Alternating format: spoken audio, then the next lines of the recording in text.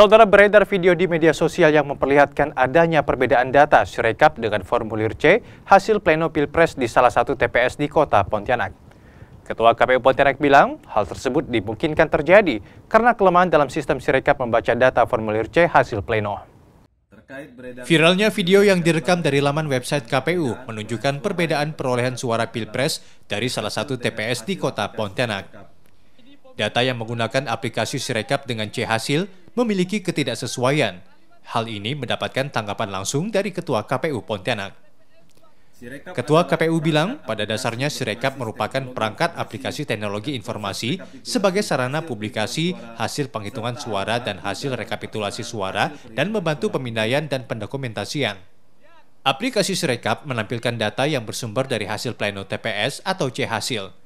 Namun pada saat menampilkan data, perbedaan jumlah suara kemungkinan terjadi karena masih ada kelemahan pada sistem. Namun perbedaan data tersebut akan diperbaiki pada tingkat berikutnya. Karena yang menjadi acuan penghitungan yang sah adalah penghitungan dan rekapitulasi secara manual, mulai dari tingkat TPS, PPK Kabupaten, Provinsi, hingga nasional.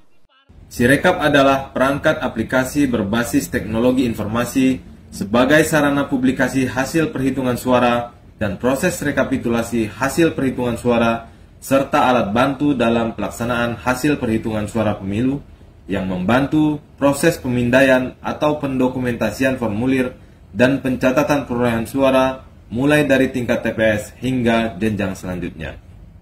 Sehingga yang menjadi rujukan utama dalam penghitungan dan rekapitulasi yang sah adalah penghitungan dan rekapitulasi manual yang dilakukan di setiap tingkatan mulai dari tingkat TPS, PPK, kabupaten kota, provinsi, dan nasional.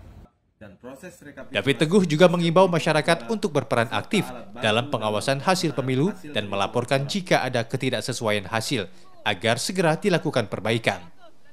Doris Pardede, Kompas TV, Pontianak, Kalimantan Barat.